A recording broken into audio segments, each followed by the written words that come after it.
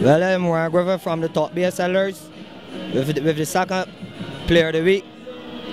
How I started playing football, I was a youth team player, coming up through the ropes. I just and I have a heart for football. And I drafted with the top beer once more again. I hope to come back this season with a couple goals. We'll like the top big goal and boot.